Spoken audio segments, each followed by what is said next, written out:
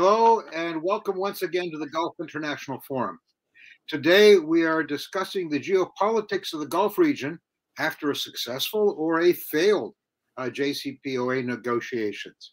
It's a great time of year. We're now fully into the spring, uh, and the weather here in Washington, at least, has finally synchronized with the calendar. I wish I could point my camera out the window and show you the azaleas. But on to the uh, less serious issues. Let's be perfectly honest. We have no idea whether or not the Vienna talks will revive the Joint Comprehensive Plan of Action, otherwise known as the JCPOA, or kill it for good. It would appear from official and uh, leaked reports that the negotiators have solved all the issues of real substance, and uh, uh, but domestic uh, politics and matters of national honor uh, remain the only obstacles. Uh, for anyone who thinks that substance will always prevail over politics, honor, and form and diplomacy, uh, you haven't a clue about international affairs. Uh, to me, at least, this looks like a make or break uh, negotiation point. Uh, rather, we've assembled three of the best informed people that I know to discuss uh, how the different actors will respond in the event Vienna either revives the JCPOA or drives the last nail into its coffin. I know that each panelist has their own personal views on what how they would like this to turn out, but they all have a rare skill in keeping uh, object objectivity away from, uh, and analysis to their analysis and away from personal views.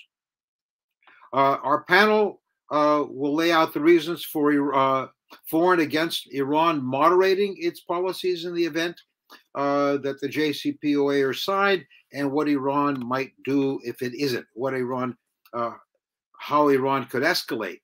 Uh, the, we will also discuss the, the most influential regional act, uh, actors, specifically the UAE, Saudi Arabia, Qatar, Oman, and Israel. Uh, I hate using the term GCC as part of this discussion because, in fact, I don't believe there is a GCC uh, policy per se. Uh, then uh, uh the U.S. Uh, the U.S. is working. It seems uh, with both eventualities in mind. U.S. negotiators have been working very hard to make this work to resolve all the issues of substance. and Secretary Blinken has been on a speaking tour uh, that's uh, to almost every interested country, except Iran, of course, uh, that seems to have two objectives. One is to persuade the recalcitrant not to torpedo the negotiations, and secondly, to persuade everybody to maintain unity in case the negotiations fall apart. Uh, all this, of course, and right in the middle of the war in Ukraine, which is changing uh, sort of all the economic and political dynamics in the region as well. These are tough issues to discuss in a one hour program, uh, but we couldn't have a better and more uh, qualified group of panelists to, uh, uh to discuss what will probably happen. Uh, one point I will make during this conversation we are not here to discuss whether or not the JCPOA will be revived because I don't think any of us really have any idea if that might happen. But a quick introduction of our panelists in the order in which we will speak. Leading off to discuss the regional actors and their uh, and the probabilities, possibilities, uh, and unlikely actions, we have Dr. Kristian Coates Ulrichsen of the Baker Institute uh, for the Middle East uh, at Rice University and a non-resident uh, senior fellow with us here at the Gulf International Forum. He is a good friend and a distinguished scholar of the Gulf region. To dissect Iranian intention in politics, we have the honor to hear from Dr. Banafsheh Keynoush. I always apologize for uh, uh, pronunciations, a scholar of international affairs, an international geopolitical consultant, and the president of Middle East Analytics. She is a fellow at the International Institute for Iranian Studies and a non resident scholar at the Middle East Institute. Uh, and finally, the, uh, in the cleanup position to discuss the reactions and actions of the United States and Israel, another old friend, Dr. David Pollock, the Bernstein Fellow and Director of Project Fikra at the Washington Institute. Uh, David focuses on the political dynamics of Middle East countries and has served previously as senior advisor on broader Middle East issues at my old digs, the State Department. Uh, could I start off now with uh, Kristian? Well, thank you very much for, for having me on this panel. As you say, it's extremely timely, not least because we still don't know whether or not there's going to be a deal going forward. And I think that increasingly structures how the Gulf countries, the GCC states, are looking at this. They're increasingly looking at it, I think, through the prism of US domestic politics as well as their own national interests. And I also agree with with Ambassador Theros, there's no GCC position on Iran. There never has been. I suspect there never will be one.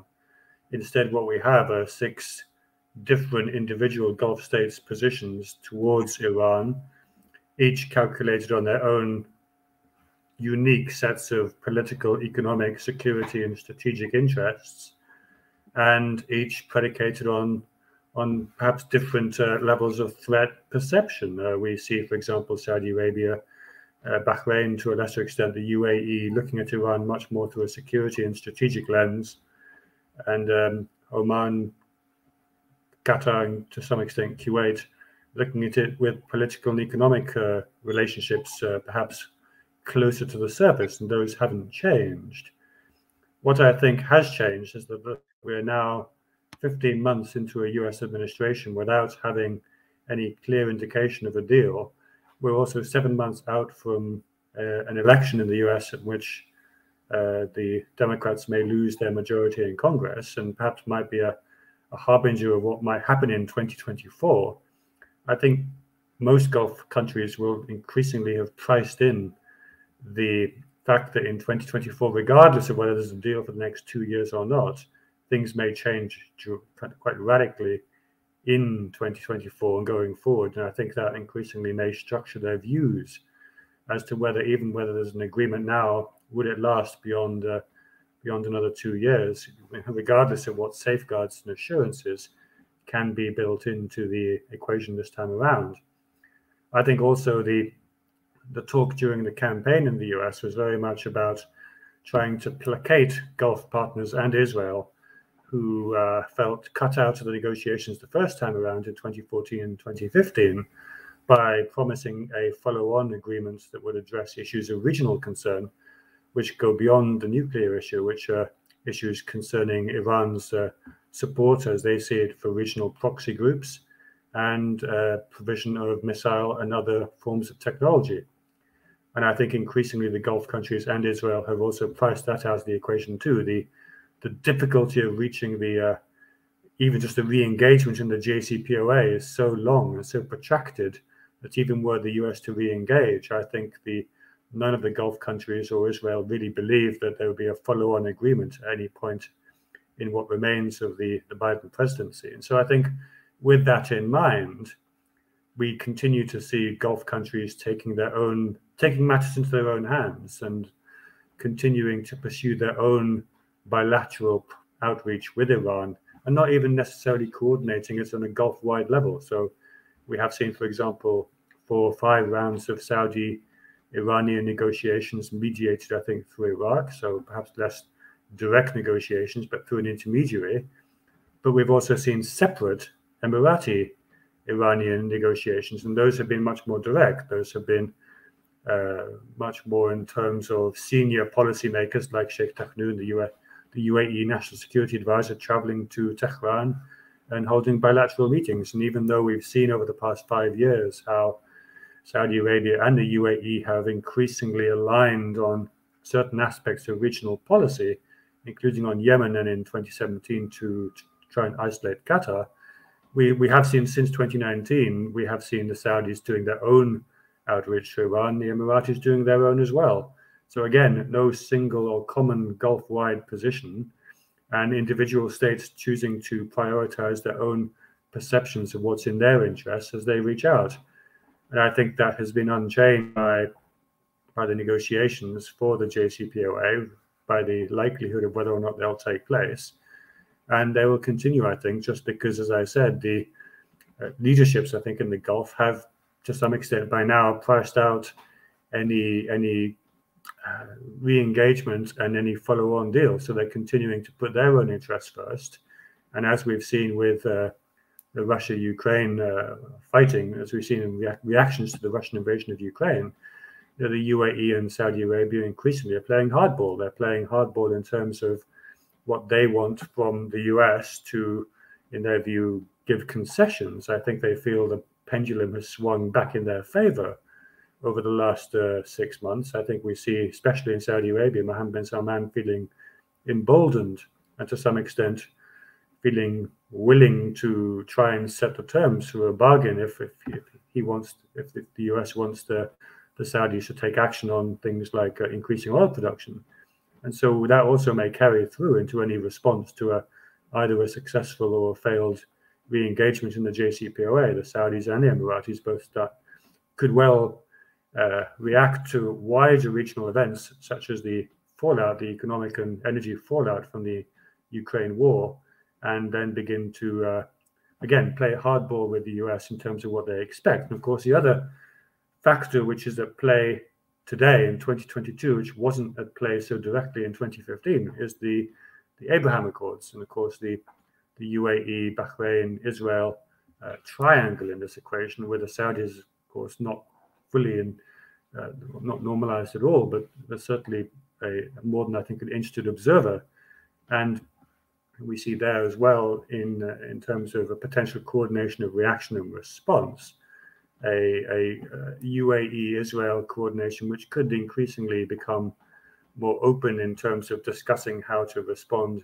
should a JCPOA 2.0 be be achieved or not. And again, so I just think that the the time has so much time has passed in this administration that increasingly the participants are now looking forward, not necessarily looking at this current position in time, but beginning to think about what will happen in November 2022 and then post 2024. And I think that the JCPOA was not didn't have the protection of a treaty, and it won't have the protection of a treaty just because the political math in the US is against it. It's, uh, it's non-binding in so many ways, and I think leaders in the Gulf are beginning to take the long view on this, and will continue to put their own perceptions of interest first. They will put their own perceptions of what they think they can get out of dealing directly with Iran first, and that will mean not only will they not coordinate among themselves at a GCC level, but if an agreement is made, if an agreement is reached, they will probably react at best with a loose coordination, but probably again, six very different sets of reaction with Kuwait, Qatar, and Oman, varying degrees of, uh, of welcoming it, and then probably the most hawkish reactions from Saudi Arabia, Bahrain, the UAE, perhaps somewhere in the middle, and so I think that remains to be seen. But again, six very different sets of reactions and no common Gulf wide response. Thank you. Let me uh, toss in one quick question along these lines. Uh, do you believe that uh, in the talks between the UAE and Iran, the, uh, Saudi Arabia and Iran, and so forth, uh, they have tried to influence Iranian, uh, how can I say, Iranian attitudes towards finishing the JCPOA or negotiating with it on easier terms? I suspect the talks will have been purely bilateral in nature and will have been trying to address issues of bilateral concern, which for the Saudis may mean much more focus on on Yemen and on potential Iranian uh, moderation or influence over aspects of Houthi behavior and for the UAE, I think much more regional security and stability questions. Uh, whether or not the JCPOA came up is, I mean, I don't have any insight into them, but I would imagine that uh, because also these talks began late 2019 and continued into 2020 before we had the change of administration, before there was any real possibility that JCPOA might even be re-engaged in. I suspect that at least at the beginning, they were motivated by the fallout from the uh, attacks on Saudi and Emirati energy and maritime facilities in 2019, and a desire to try and de-escalate tension to ensure that tension didn't spiral to the point where Saudi and UAE interests were severely compromised. And I think that's probably the base level of those talks going forward. turning to one of the protagonists, uh, to uh, the Islamic Republic. Uh, Dr. Keynoush, can you shed some light on what they will do in either event? I will be. I, tr- I, will try to maintain a balanced discussion. And thank you so very much for having me uh, with uh, with everyone else on this important panel. Uh, thank you as well for to the Gulf International Forum for arranging this and inviting me. Uh, I have been asked particularly to discuss how would Iran change its regional policy if a new JCPOA uh, or nuclear deal, for that matter, is agreed or failed, and how could that change the Saudi-Iranian rivalry. Um, uh, I will begin by addressing the first part of the question, if I may. Iranian foreign policy, in my humble view, irrespective of the nuclear deal, um, doesn't um, uh, actually enjoys a certain level of continuity. It is the Iranian foreign policy behavior that may shift from time to time. Um, so we cannot expect a significant change in Iran's regional policy, irrespective of the outcome of discussions over a nuclear deal. And this is uh, to answer the first part of the question. But we can expect, obviously, a shift of behavior uh, depending on the outcome of those talks. Now, a- another question that one might ask in this context is what predicates Iranian foreign policy behavior uh, in this fluid sphere. Um, I think that understanding the understanding by Iran is is very important about the nuclear talks, um, and and the understanding by Tehran of the limits of its power. And therefore, we can expect that Iran will avoid irrationality. Uh, what that irrationality, by the way, means to Iran may be very different than what it might mean to Israel or Saudi Arabia or the UAE or the United States. Um, and that is why uh, you know, traditional game theory of what might the Iranians think or do. It doesn't necessarily apply. But let's just assume that as a state seeking security, that Iran will, in, on general terms, avoid irrationality irrespective of the outcome of the nuclear talks in order to uphold its security in this fluid sphere. So the next question is, does a nuclear deal uphold Iranian security? A quick answer is no but it can boost Iran's quest for security. Uh, and the reason why the answer originally was no is because, as Dr. Ulrichsen also said in his excellent overview, that um, truly this is not a security treaty and it has failed significantly, the JCPOA, in, in rendering security as such uh, under the terms of a securities treaty. We cannot analyze the JCPOA as a security issue. Um, and I can go deep more into detail about why I see that. Um, but I think this is a discussion that many have also touched upon in different ways. So um, again, the quick answer is no, but it can boost Iran's quest for security. Which brings me to the last question here. How does this deal, or not if it feels, could at all change the Saudi-Iranian rivalry? As a general rule, Iran needs Saudi Arabia to buffer tensions between the United States and Iran. This is a historic reality. Now, the resulting expansion and contraction of Iranian regional influence, given the constant state of tensions between Washington and Tehran, um, and the US ch uh, challenge in restoring the balance of power between Saudi Arabia and Iran. Now, please remember that the United States has played a significant role in creating an imbalance between Riyadh and Tehran over a long period of time, considering U.S. policies in the Middle East and in the Gulf region. But, uh, but, but the combination of this resulting expansion and contraction of Iranian regional influence due to prevailing tensions and the US inability to restore balance complicates and will continue to complicate the Saudi-Iranian relationship or partnership.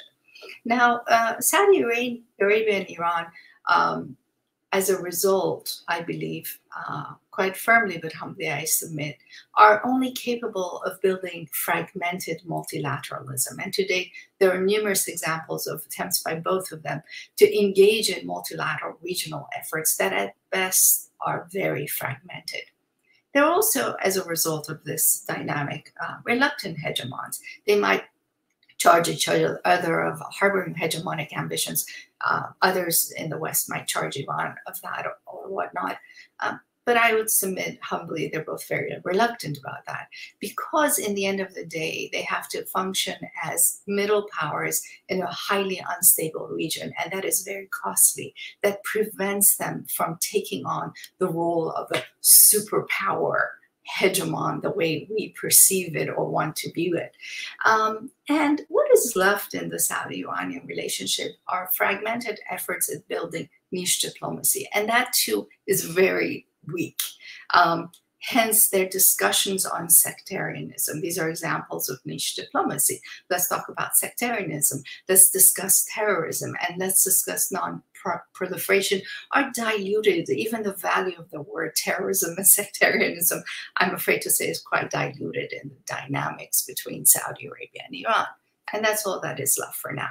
So moving forward, these dynamics will hold irrespective of a nuclear deal or not. But a lot is also determined by how weak, how weak the US position in the region is and becomes as a result of a deal or no deal. We all know that. At this point, that the JCPOA um, has failed to function as a security treaty or bring about the needed security guarantees that the region needs, um, one can surmise that that may explain why Iran is com offering competing narratives of security in the face of the JCPOA uncertainty. Aiming to broaden the sphere of dialogue and influence with Saudi Arabia, because again, Saudi Arabia must serve as a buffer, as do the rest of the GCC countries to varying lesser degrees, depending on the level of their power as middle powers in the region. So the current security talks, um, Dr. Ulrichsen mentioned, you have mentioned Ambassador Theros, there have been five rounds of it. They have focused exclusively on security and intelligence issues it would be more meaningful once they be, become uh, enter the public sphere. We will know about it. it. it. will speak of a higher level of confidence building, um, but that doesn't mean that the dynamics that I discussed earlier are irrelevant. They will remain dominant.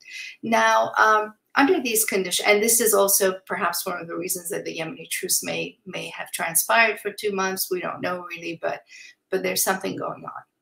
So at this point, the opportunities for convergence in the region with Iran will rest on geostrategic shifts that will occur post the current discussions on the nuclear deal.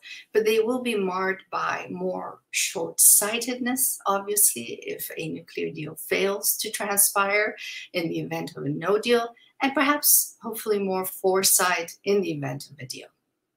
Thank you.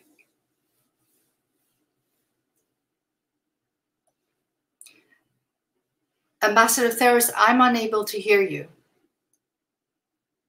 Because I failed to mute. My apologies. uh, I, you made a comment uh, uh, towards the beginning of your uh, intervention in which you mentioned that the uh, that Iran and perhaps I misheard you sees Saudi Arabia as a buffer with the United States uh, which leads me to a question: Do the so do the Iranians, the Iranian perception, not uh, everybody? No, there is no reality. There's only perception, and I'm afraid in uh, diplomacy and geopolitics. Do the Iranians perceive the United States as the driving power behind threats to Iran, uh, with the Saudis tagging along, or do they see Saudi Arabia playing uh, a much more active leading role in that hostility towards Iran? That is a great question. Unfortunately, they see Saudi Arabia in a reactive role and the United States in a leading role. And I would submit humbly that that is a mistake that Iran has made for too long a period of time. It is true that the United States is a contributor to the imbalance of power in the region between Saudi Arabia and Iran. But to rob Saudi Arabia of the agency of power prevents Iran from clearly seeing the emerging trends in Saudi Arabia uh, and understanding its neighbor better. Thank you. David, Dr. Pollock, uh, now turning to the two principal outside protagonists, so to speak, the United States and Israel. Uh, Israel and the U.S. both seem somewhat torn internally as to where they want to see this thing go. Floor is yours. Thank you so much. Uh, it's really a pleasure and an honor to be with you today. And I very much appreciate the comments from all of our panelists so far. I want to start by trying to answer your question about the United States and Israel, and then conclude with a few remarks about overall geopolitics in the Gulf region.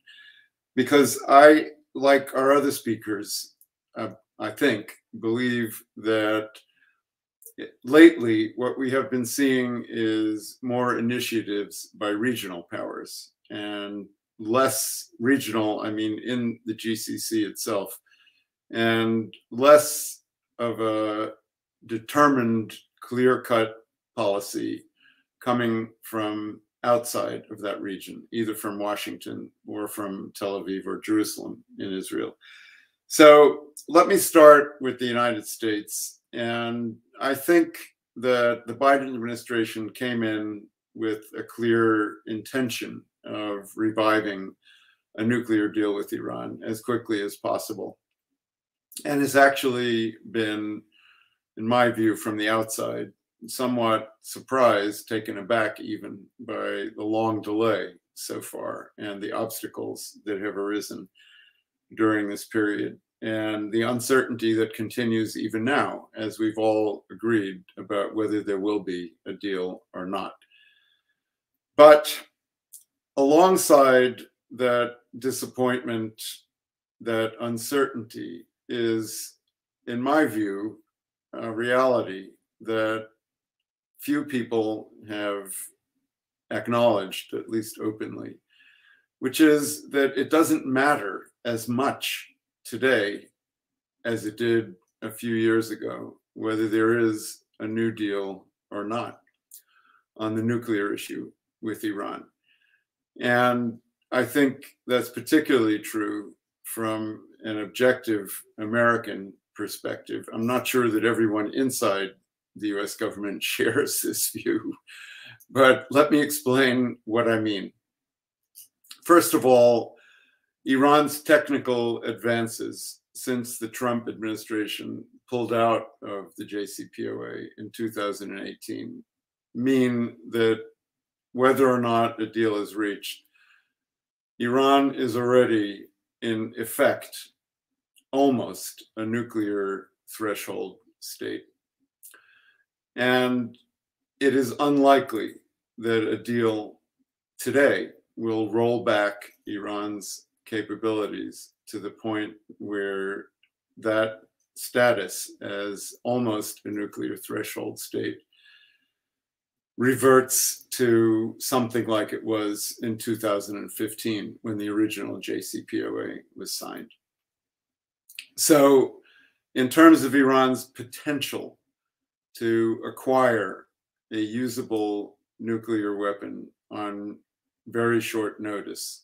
A deal is not as decisive looking forward as it was during the time when the original JCPOA was reached, and even during the time when the Trump administration pulled out of that deal a few years ago. That's number one. Number two is sanctions relief, which we haven't talked much about so far today. But I think it's fair to say that until recently, many people believed that one of the key effects of reaching a deal with Iran on the nuclear issue or not reaching a deal would be how much revenue Iran had because sanctions would either be lifted or not lifted and how much of that revenue would be used for Iran's other destabilizing activities around the region, funding proxies and militias and terrorist organizations and subversion against Arab and other countries and so on. Well, that was a really big question a few years ago, but I think it's less of a question today because Iran has found many ways over the last few years to get around even the very tough sanctions that the Trump administration tried to impose against it after pulling out of the JCPOA. And even under that very strict sanctions regime, we really haven't seen, in my view, a significant effect on Iran's willingness and ability to fund its non nuclear threats to its neighbors and beyond that uh, to American interests in the region and to Israel. So, if a deal is reached, yes, Iran will get sanctions relief and more money at its disposal. But I don't see that making a decisive difference in Iran's behavior one way or the other. And I think that that understanding is gaining ground among the regional parties as well. Finally, we come to this question about whether or not a deal or no deal makes a really big difference anymore, especially from a regional perspective. And that has to do with the issue of whether or not there could be a nuclear arms race in the region. If Iran approaches this status of a nuclear threshold power, will that mean that, say, Saudi Arabia or the UAE or other countries in the region that don't already have nuclear weapons like Israel does, uh, Turkey or Egypt or maybe others, will be tempted to go down that route in order to balance, as they see it, this new threat from Iran.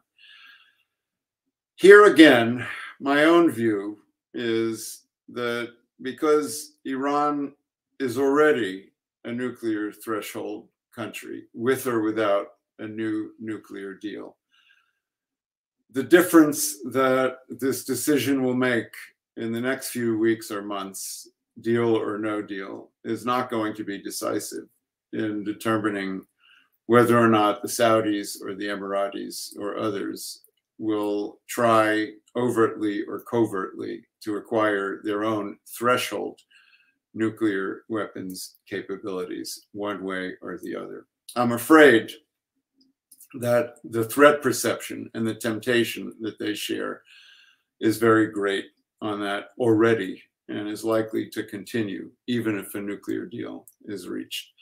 So now let me turn very briefly to Israel. And the question that most people ask, uh, the most urgent one perhaps, is what are the odds of Israel reacting to Iran's threshold nuclear status in a military, in an overt, a large scale military strike against Iran's nuclear facilities? And I would say my own view on that is that those odds are very, very low for the medium term. By medium term, I mean the next two or three years, whether or not a deal is reached. Here again, I think the statements from Israeli officials and their perceived need to coordinate this with the United States, along with questions of Iran's possible, probable actually, retaliation against such a military strike, and Israel's limited capabilities right now in that direction. I think all of those factors, despite all of the huffing and puffing that one hears about this question, all of those factors point to the very low likelihood that we will see that kind of Israeli reaction in the next couple of years. What is plan B then for Israel or for the United States? And the answer to that, and I will conclude on this rather grim note, I'm afraid, is that there really is no plan B that either country has, in my view, at the ready. In case there is no deal, in case Iran continues not only to threaten its neighbors and the United States with its nuclear potential, but even more so with its other non nuclear activities all around the region. Thank you.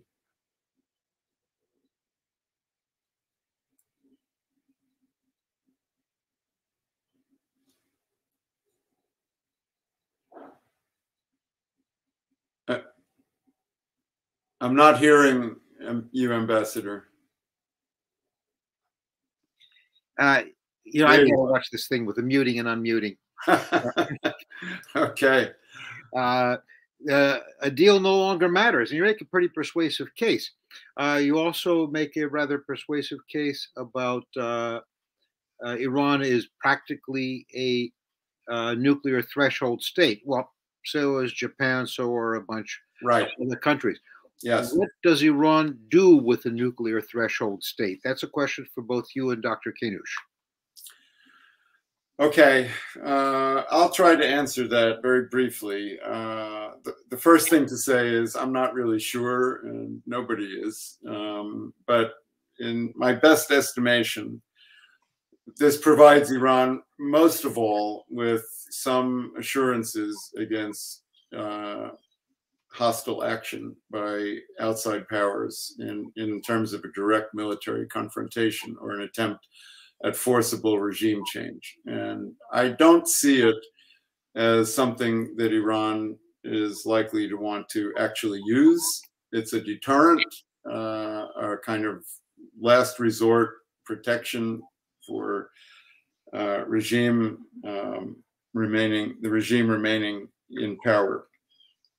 Um, I do see it as in Iran's likely view, or at least as other powers see Iran's uh, likely trajectory, and I'm certainly open to other arguments about this, as something that will probably encourage Iran to take more risks in the future in terms of projecting its power in non nuclear ways uh, through its proxies or clients or militias uh, around the region. But I have to say that very briefly, that there's one contrary indicator that is very important and uh, and brand new on the scene, and that is the ceasefire in Yemen between um, the warring parties there and the absence of any Houthi recent uh, aggression against either Saudi Arabia or the UAE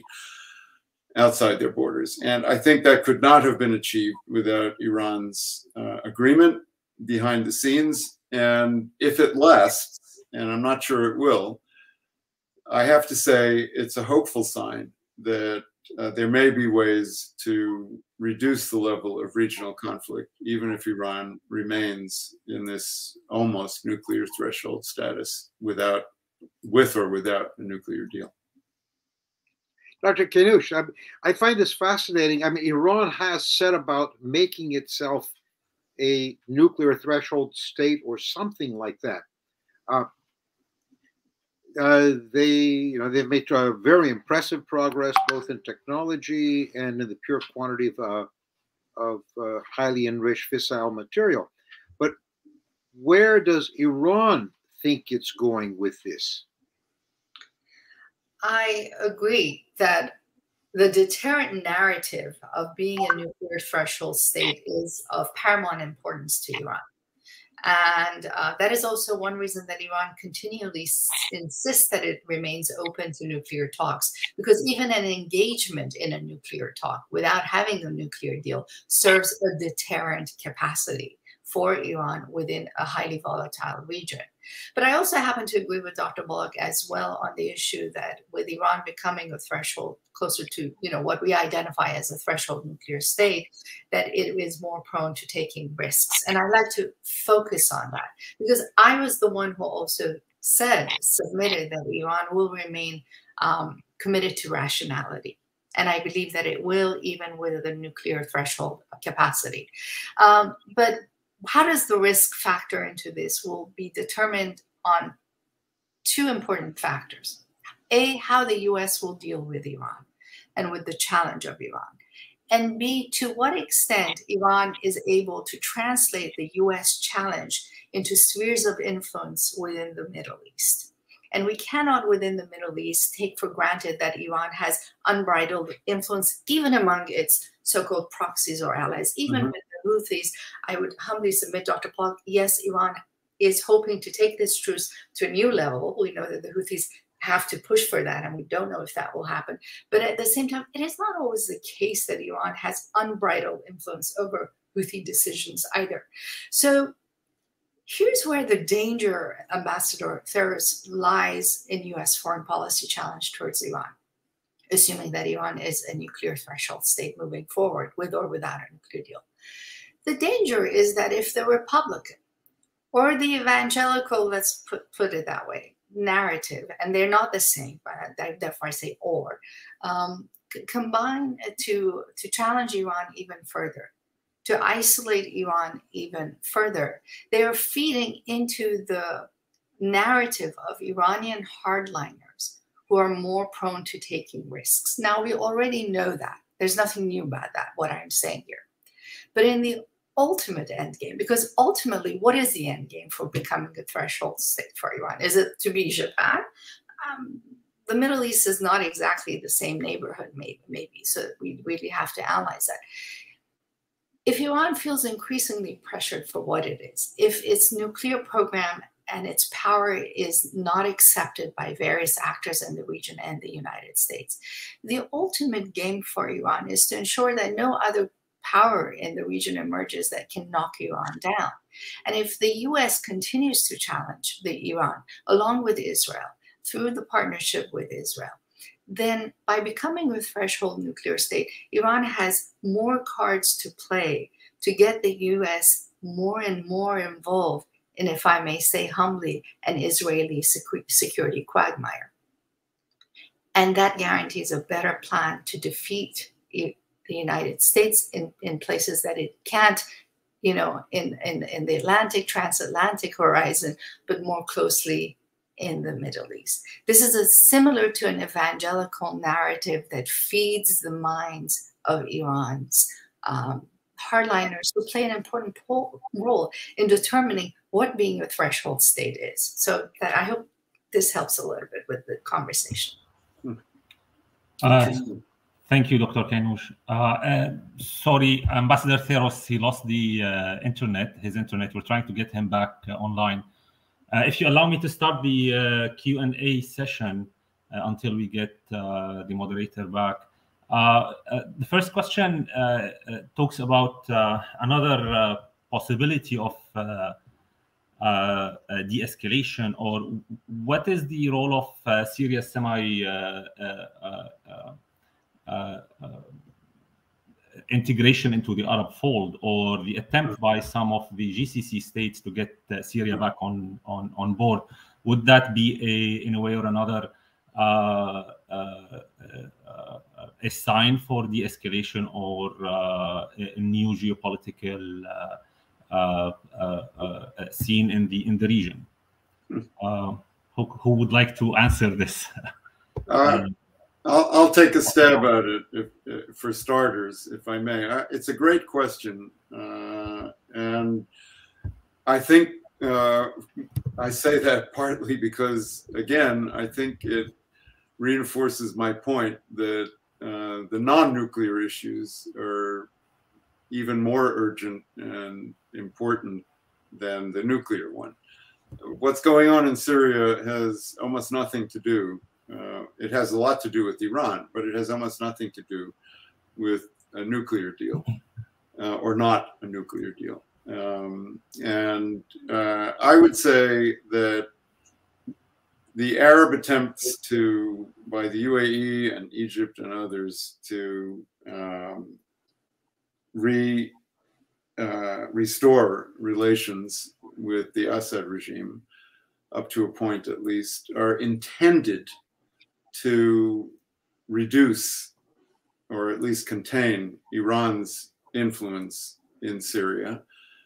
But I don't think they're likely to have that effect, actually, quite the opposite. I think that unfortunately, they are likely to give the Assad regime uh, a tighter grip on power and enable it to maintain its very close ties with Iran and with Iran's other allies, um, including Hezbollah and Russia, for that matter.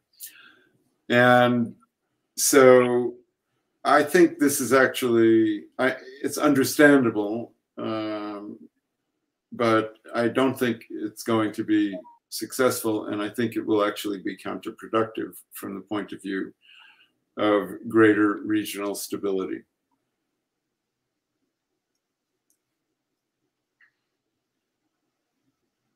Look, David, Yeah. Okay, I couldn't hear. Like uh, my internet went totally dead, then it came right. back on again. Uh, you know, uh, on the previous question of nuclear threshold, this also fascinates me. Kristian, uh, could you comment on the likelihood that either Saudi Arabia or the Emirates or some other country in the region might decide to make itself a nuclear threshold power? And if so, could they? Well, I think that would depend on how they would do it. I mean, there have been rumors for years that the Saudis have some sort of an agreement with with Pakistan. Of course, those rumors have been floating around, and it's very difficult to know whether or not there's anything substantive to them. I think one characteristic of the UAE's nuclear program was that they forswore enrichment of, of both ends of the nuclear cycle, and it was actually seen as a a way for a Middle Eastern state to sort of responsibly develop a nuclear program without having any of the uncertainty and perhaps second guessing uh, about its dual potential dual nature process that we've seen with the Iranian one. So I think it would be interesting to see whether or how either the Saudis or the UAE would go about it. And I think the way they went about it would probably determine whether or not they would face any significant resistance and pushback from elements of the international community. If you think back to 2018, Mohammed bin Salman at one point said that if Iran got a nuclear bomb, the Saudis would too. Right. He was quite uh, quite equivocal about that. And of course, the question then is, how would they do so? You can't just set up a nuclear program from scratch. It would take take years to build a Saudi nuclear program and to develop a, threshold capacity. So would they would they pursue it through other means? And of course, that would might probably lead to a lot of pushback, which is where the current uh, drift perhaps away from US interests, at least from some aspects of Saudi and UAE policy, is quite interesting because uh, if going forward the Saudis and Emiratis are saying to the US that, that, we have other options, we have relationships with Russia and China and other states' equities to protect and preserve, uh, could this be part of that where we're going to say, okay, well, we'll go and cooperate more intensively on nuclear related issues and what are you going to do to stop us? Now that may or may not happen, but uh, whether I mean that you know at some point that could become another flashpoint in what I think is already a, a tense relationship in in some ways between Washington and its partners in the Gulf. Fascinating thought because.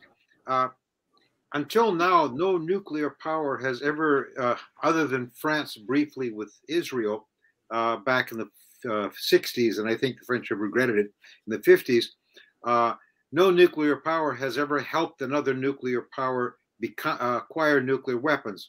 Again, corrected. I, North Korea may have done so as well with Pakistan, but uh, I have I know of no case where a nuclear power actually turned a bomb over to somebody else. Uh, you know, up, you know, fully fledged bomb. Uh, what would be the interest of Pakistan in, say, delivering ready-made nuclear weapons to the Saudis? Uh, well, I mean, large amounts of civilian and military support and aid and assistance. Perhaps we've already seen some assistance announced this past week for the new for the new Pakistani government. Um, you know, we could see increases in that support and assistance going forward and especially were there to be a situation in which the Saudis or anyone else felt they had to uh, become a nuclear threshold, that would imply that there was a situation of some considerable regional uncertainty, and uh, such assistance might be desirable for more parties in such an eventuality. Uh, we've left two other uh, sort of uh, skeletons in the closet: Russia and China, who are both uh, guarantor powers. They're uh, for the JCPOA. Uh, Russia has been actively involved in the negotiations. China has been a bit more silent. Uh, but for any of the panelists, where do they come out on this? Are they are they looking at a world at a better world if the JCPOA is uh, is revived, or do they benefit from its uh, from the failure of the negotiations? any any volunteers? I, I, if I may quickly just say, I would submit that they're prepared for both scenarios because both scenarios carry both opportunities and challenges. and as Asian powers capable of understanding Iran a lot better than Western powers. I mean, all you need to go do is go to Iran, visit Tehran, uh, visit Qom, visit the southern shores uh, on the Gulf waters. Um, you see Russians, you see Chinese people speaking fluent Farsi. It's very different than the understanding that we possess in the west of Iran. And they are prepared for both mindful that they also have a picture of the challenges and opportunities that the West is increasingly facing in managing Iran. Yeah, I, I agree with that.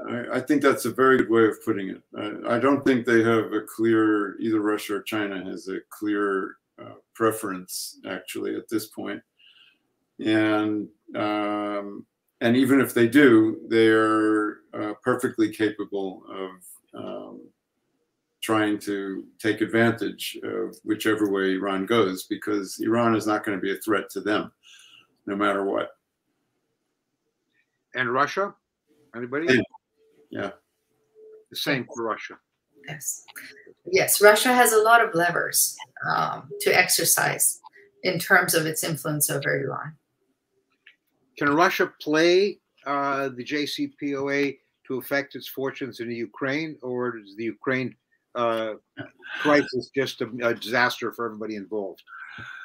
Well, they tried, uh, and I think they have failed so far um, to get extra revenues uh, from side deals or side agreements in the JCPOA framework, or to get some leverage over American and European policy uh, on Ukraine by uh, using their role uh, in the Iran context somehow. And I, I think it's been a surprisingly successful unified US and European stance that uh, they will not make special concessions to Russia on Ukraine because of the uncertainty about Iran and Russia's role in that uh, context. However, I have to say that um, in some respects, the uh, Ukraine crisis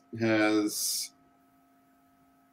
um, complicated the, this whole question about the Gulf and Iran and nuclear weapons and so on. Uh, some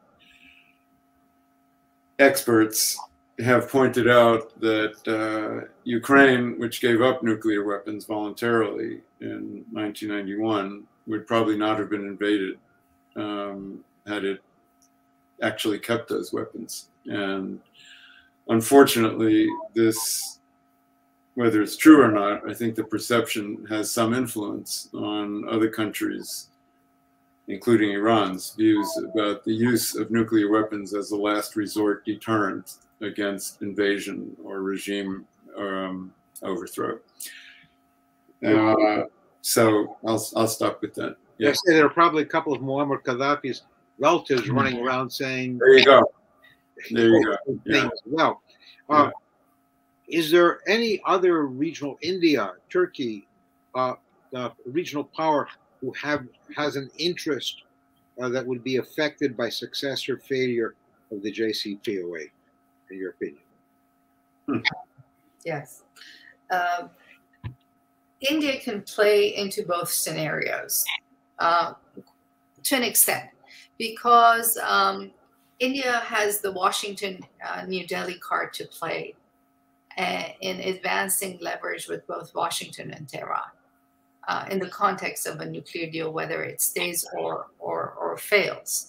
Um, but it's it's a tenuous it builds a tenuous partnership between New Delhi and Tehran. Uh, but New Delhi can advance its interests with Washington within the context of the nuclear talks with Iran.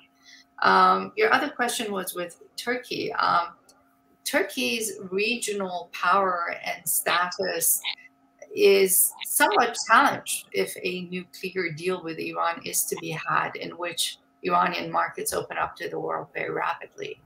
Um, but also, Turkey does not wish to see a nuclear weapons capable Iran.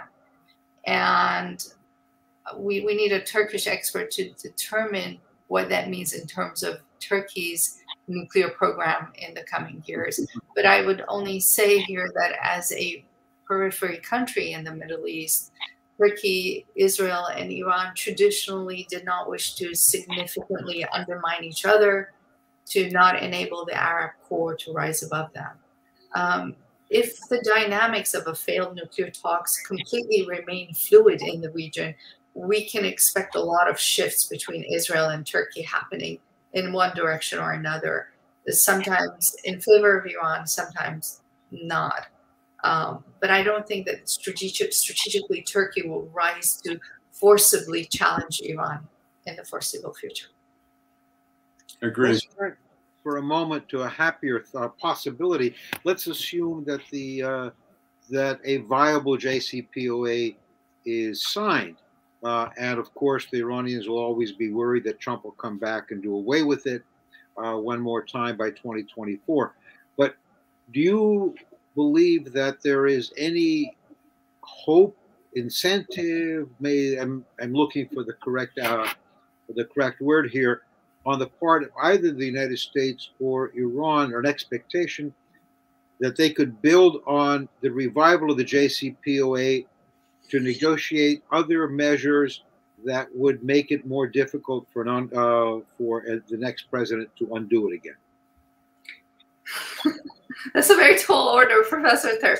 I'll just say something briefly so that Dr. Ulrichs and Dr. Ploy will be in a better position to answer this. Iran's, Iran's policy approach right now is very piecemeal. Even if it can get a one-year nuclear deal, it's better than nothing because it will lift sanctions temporarily bring in some money, and then they'll work it out because they've been working it out for the past 40 years with tensions with Israel. I mean, there's nothing new with the United States. Um, whether or not the two will sit together and say, well, let's discuss, I don't think Iran really has that amount of power in Washington. Um, I think they've tried uh, in 2015 to 2017. Even the Iranian hardliners charged uh, foreign ministers Zarif and then President Rouhani of having a little bit of a tit-tat talk with um, uh, Secretary of State John Kerry or others about, well, where's this all going? Um, but but but fundamentally, um, because Iran's influence is premised on both ideational as well as material power, the United States never entirely fits in as a friend. But I that's all I can add here. Kristian, David? Go ahead, Kristian, please.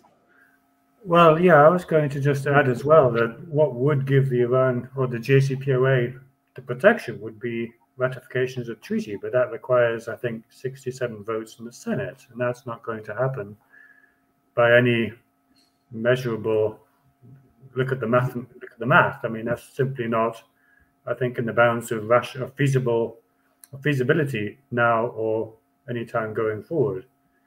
And so, without that protection, without that kind of binding nature, I think all parties are going to have to proceed, even if they do re engage, on the basis that we may see a back and forth in US politics, like we saw also with the Paris Climate uh, Accord, where Obama signs it, Trump withdraws, Biden re engages in, in Paris, Trump or whoever comes next might withdraw again. What we haven't seen, of course, is Biden re engaging the JCPOA the day he took office, the same day he did with the uh, Paris Accord. Mm-hmm. They both suffered from the lack of political protection. And I think, especially where we are now in the electoral cycle in the US, I just think that, as I said in my opening comments, Gulf actors have increasingly priced that in to where they think they're going to go, regardless of whether an agreement now is signed for the next two or two and a half years. I would just your head. Yes, I, I agree with with that, but I, I I would like to respectfully return to my um, constant refrain, which is, what about the non-nuclear issues? And that's where I think we may see a more significant, uh, let's say, choice that Iran and the United States will both have about uh, what the level of their mutual antagonism or possibly uh, some kind of I wouldn't say rapprochement, but at least uh, modus vivendi, uh, let's call it, um, will be. And I would return just briefly one more time to the ceasefire in Yemen as an indicator. Maybe it's a special case, maybe it won't last, maybe um, it's uh, uh, something that has its own particular reasons, but there's no doubt um, that are more regional than between Iran and the United States. But there's no doubt in my mind that somehow or other, this is, at least for now, an outcome that is a great relief to the United States and to the Saudis and to the Emiratis, and something that they can point to as at least a possibility that Iran may not be um, a hopeless case, let's say, uh, of, of continuing urgent, uh, intractable threats all around the region. Yeah. Uh, uh building on that, I mean, hypothetically, uh, Iran could conclude that if it built its relationship with Saudi Arabia and UAE, the two Arab states most hostile to it, that they might be able to influence the United States. Mm. Uh, the question is, would they be able to influence the United States even if they wanted to? Uh, well, what was remarkable was in January 2020 when Qasem Soleimani was killed in, in Baghdad, US Iran tensions spiked, and for a few days it looked as if there might be a, a new round of conflict. And what was incredible then was the sight of the Saudi Deputy Defense Minister, Prince Khalid bin Salman, flying to Washington and making the case for de escalation, and mm-hmm. the UAE saying the same thing. Mm-hmm. So we've already seen them stepping in where they feel that their interests would be harmed by outright hostilities between the US and Iran.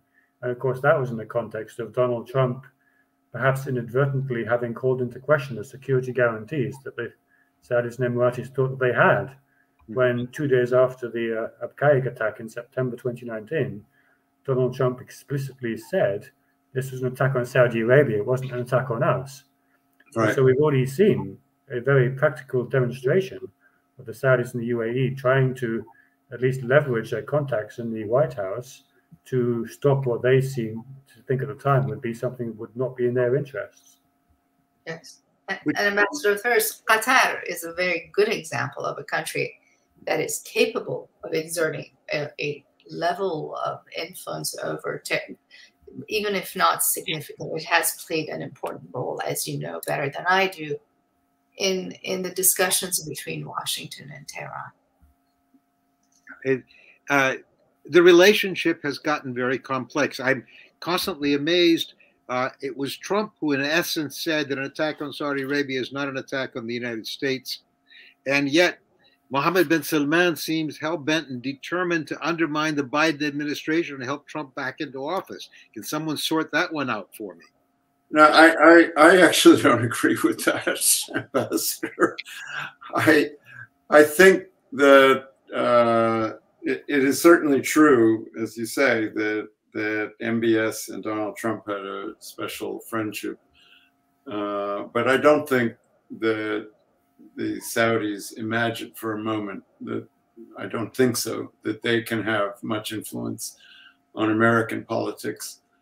And I don't think that MBS uh, or the Saudi government generally, as disappointed as they are in some of the Biden administration's policies, that they are writing it off. Uh, on the contrary, I think that their disappointment is leading them to try as hard as they can to, um, without going overboard in terms of symbolism, but to try as hard as they can to make sure that the United States does not, in fact, abandon them, whether it's Biden or Trump or anybody else. Ambassador Theros, if I may just add, it's really important for the United States to figure out how to restore a balanced relationship between Saudi Arabia and Iran. And I would say we have failed to do that uh, as much as we've been responsible for the imbalance. Uh, sometimes we go way overboard defending Saudi Arabia. Sometimes we go way overboard in attacking Saudi Arabia. Not, and by we, I don't just mean the US government or the State Department also the media, public opinion, all that mm-hmm. matters. Um, especially in countries in the Middle East where these farms do not play a significant role in foreign policy making. You know what they are particularly sensitive to to mm-hmm. the wave of, uh, of conversation that that seemingly comes down on the Middle East like a mm-hmm. storm. Um, mm-hmm. None of that helps, be it by the Trump administration, and as we know, President Trump, even during his election campaign, didn't fall short of uh, of saying some things about Saudi Arabia that Riyadh didn't like, just as President Biden didn't fall short. You know, the election debate is one thing, the policy is another. We haven't really even maintained consistency between our election campaign promises and the policy that comes after. Um, Saudi Arabia is very mindful of that, and that puts Saudi Arabia in a very difficult position. And above all, it compromises our ability to maintain proper influence on Saudi Arabia on Iran, on the Middle East. We really, the State Department Ambassador has to start thinking more thoroughly about how, how to engage both Saudi Arabia and Iran in a far better, and they would really be appreciated because they know how to live together as neighbors as long as the conversation is balanced. But it's when it becomes imbalanced that they have no choice but to engage in costly tension. Okay from your mouth to the words of God. the words of God, I swear. Uh, we, are about to wrap up. I would like uh, sort of your uh, your wrap up thoughts on this one with a cup with one idea that always sits in my mind is particularly in the relationship between the United States and Iran. I have great difficulty uh, discerning occasionally between history, irrationality, and the pursuit of national interests. Mm-hmm and uh, and whereas the Gulf states from moment to moment strike me as almost the epitome of rational interest being their uh, their objective. So, Doctor, uh, in that wrap up, Dr. Keynoush. I think it's a wrong question to ask and demand Iran to to decide whether it is a revolutionary state or a state willing to work on its national interest. That question in itself is incorrectly framed, if I may submit. Uh, how can we ask that from a revolutionary state when we call it the Islamic Revolution of Iran? By nature, the Islamic Revolution of Iran is a combination of ideational power, ideology based, and material power. Neither ideational or material needs to foreshadow the other. They walk parallel with each other. It's the narrative that we build to engage Iran along the lines of its ideational power, and the narrative that we build to engage Iran along the lines of its material power that the Chinese and Russians have been far better to do than we have in the West. That will matter. Again, even Israel has done a better job than the United States in engaging Iran along the line because Israel gets it. Israel is is a part of the Middle East. It gets it a lot more uh, and there are ideational components to Israeli foreign policy that that that sink closer to Iran as a Middle East actor. So we're asking the wrong question. We shouldn't ask that. And as long as we ask that, we are compromising our ability to build a proper, realistic, rational uh, uh, conversation with Iran. Once we accept Iran for what it is, then we are in a better position to influence Iran along those ideational narratives hey, you have an ideational problem with us? Well, let's sit down and talk about it. Actually, I uh, you may have misunderstood me. I thought the United States has an even bigger ideational problem than Iran does on the subject. uh, Kristian, wrapping up. Well, I mean, I think in terms of that question that you just asked, we have also to factor in the sort of four decades of Iranian, Saudi, and other Gulf actors engaging with each other, perhaps on misperceptions, and again on perceptions very much driving realities and driving policy making. And we've seen for years, again, how perceptions can be so deeply held and deeply rooted in the Gulf states as well as in the US, and especially between the Saudis and Iranians as the two major uh, regional protagonists. And perhaps we saw one of those perceptions driving policy in 2014, 2015, when the Saudis responded to the Houthi takeover of Sana'a, which, let's not forget, was really facilitated by the alliance between the Houthis and former President Ali Abdullah Saleh, who wanted to try and maneuver his way back into a position of, mm. if not power, at least calling the shots. And it was perhaps misread to some extent as an expansion of an Iranian direct link uh, of kind of Iran controlling another Arab capital. And the Saudis then went in in, in March 2015 in the expectation of a, a quick and decisive storm victory and have created this, sort of, it helped to create this quagmire that they're still in today.